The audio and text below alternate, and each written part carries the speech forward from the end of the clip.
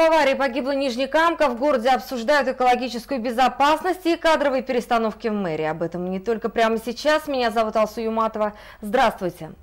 Страшное ДТП произошло на трассе Нижнекамск-Чистополь у деревни Верхней Челны. 31-летний водитель «Шевроле Круз» выехал на полосу встречного движения и столкнулся с автомобилем ВАЗ-2109. Травмы получили 6 человек.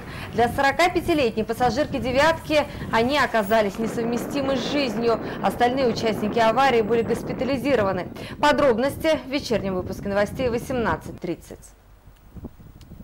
Буквально несколько минут назад в муниципалитете началось совещание с участием министра экологии республики. При участии Артема Сидорова обсудят вопросы экологической безопасности. Сейчас наш корреспондент присутствует на совещании. Анастасия Шакирова передает по телефону. Добрый день, Алсу. Сейчас наша съемочная группа находится в здании муниципалитета. С минуты на минуту здесь а, начнется заседание с участием министра экологии Артема Сидорова.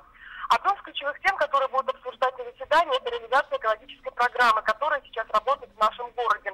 Разработан, она была учитывая все те промышленные объекты, которые э, работают в Нижнекамске. Ее основная цель, конечно же, обеспечение экологической безопасности.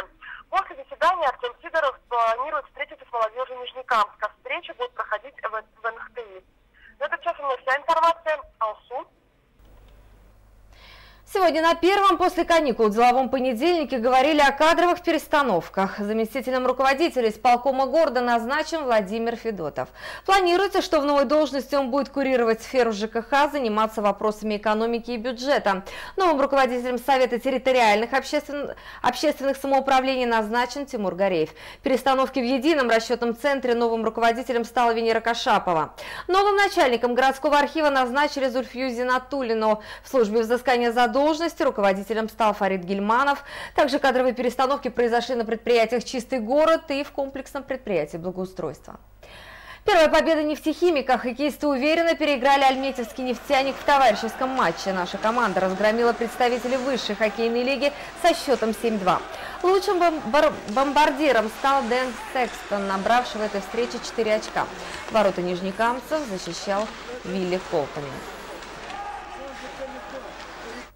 В 5 часов мы снова выйдем в эфир и расскажем новые дома из старых кирпичей, ремонт дорог не закончился и вспоминаем творчество Мусы Джалиля.